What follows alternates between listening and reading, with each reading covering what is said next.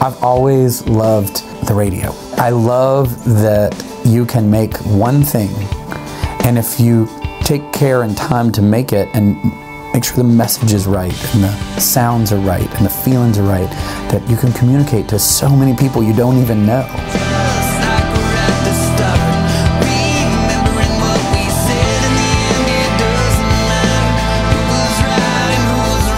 In my relationship with Wheelhouse. I'm also here as a writer. I wrote Sing Along with Andrew DeRoberts, dear friend of mine, who'd been playing guitar with me and on the entire last record that I made. This song was kind of just like any other day.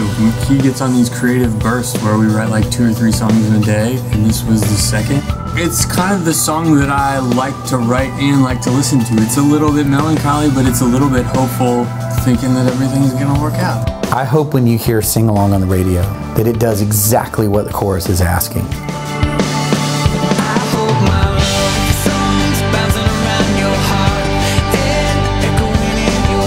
I hope that it, it bounces around in your heart. I hope that it brings you comfort. And I hope that it makes you sing along.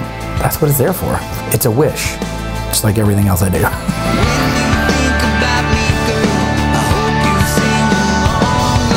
I'm going on 20 something years of doing this on big major record labels. It was impossible the first time I did it, and it was improbable and impossible the second time I did it. And now the third, fourth time that I'm getting to do this, now I'm starting to feel like it's a calling. so the idea of never giving up, I think it's important, especially the more impossible the dream, that you remind yourself that you can do this. You just can't quit.